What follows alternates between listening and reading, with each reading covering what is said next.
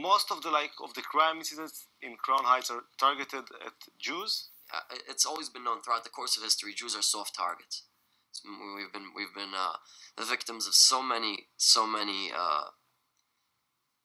major incidents, genocides and catastrophes and holocausts and everything. It's just the way we are. We're, we, we've always been victimized. When uh, when a, when a black guy sees two people walking down the street, a black person and a Jewish person, his choice to attack someone will not be a black person. Because a black person you never know. What is that guy? Does he carry a knife? Does he carry a gun? A Jew is a soft target. It's uh, it's always been known like that which is why we always encourage to walk in pairs which is why we always we don't walk so much outside like um, at night so to speak alone. It's, uh, I thought I should speak with some of the blacks in the neighborhood to see what they feel about anti Semitism.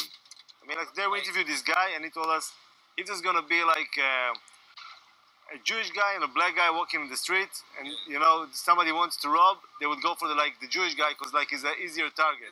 Actually, no, he's wrong.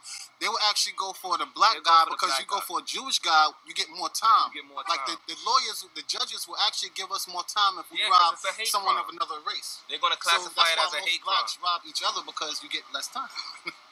So it's like a practical thing, right? Yeah, it's a. It's, it's, And- it's a lot of wisdom behind it. honestly speaking, like if you wanted to rob a Jewish person, like why would you rob a Jewish person? Like you don't never see them with nothing that would make you want to rob them. Like yeah, especially them up there, they just It- they, they- basic, simple. They don't have nothing. And most people like how could you target cards. out a Jew person like when all of them dress the same? Like everybody dress the same. They all look the same. So I I lived don't around know. here 35 years. I have never seen a Jewish person get robbed in this neighborhood. Never. But there are kind of incidents between blacks and Jews, right? There are some issues. really around it ain't really issues. It's like favoritism. They get treated better. Yeah, Like the police will treated treat them better. better. Yes, they do. If The if, if, if I'm arguing with a Jew, the cops gonna come to me. They're not gonna bother them. They're gonna think I'm a I'm the aggressor.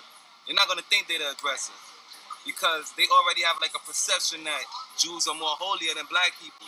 let me tell you something another thing you know they are supposed to be so the chosen ones but they be in a welfare office in a section 8 office. They the first one to get uh, uh, any kind of bargain deal on anything. They're the first ones to get any kind of discount or uh, they know the system very well okay a lot of times they have all this money coming in the household but somehow they always figure out a way to manage getting section 8 or public assistance whatever services is available trust me the jewish people are the first ones to find out about it speaking, they're like, the first ones to utilize it. Actually, they're part of the mind control system that they use through television and the media.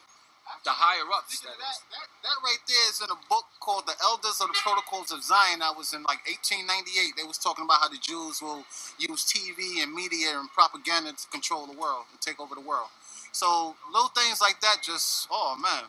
Who wrote that book? I'm trying, it was a Russian who wrote that book too. Elders, whoever's watching this, Elders of the Protocol of Zion, read it. It gives you an idea the blueprint to take over the world. It is. And It's, a, implementing it right now.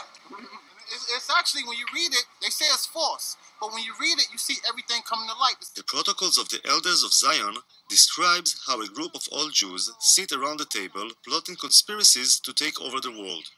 But that's considered to be like a really anti-Semitic book, you know. It, it is anti-Semitic to a certain. It's really not anti-Semitic. It's if not it's called- anti-Semitic.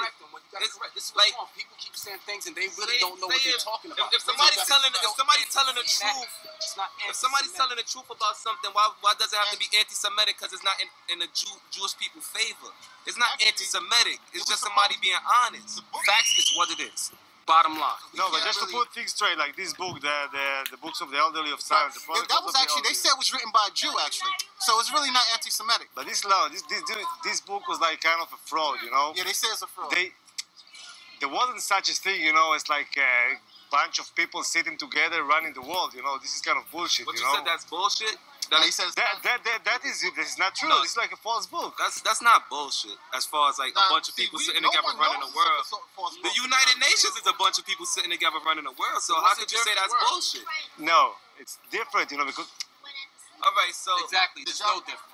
you said some like pretty harsh stuff about like you know Jewish people and no, stuff no, like that. see, no, no, no. Hold on, you gotta But- listen. What, no, let, let me finish. I mean, like, so maybe when they like see you guys on the street and they feel like afraid or they feel tension, there is something, you know, like That goes to what I was telling you before. They don't know No us. way, they never but- took time to get to know us. She was telling you that they separate themselves from us. They don't so, want to know us. so when you don't want to get to know someone, you Honestly never. speaking, You can't. like you can't.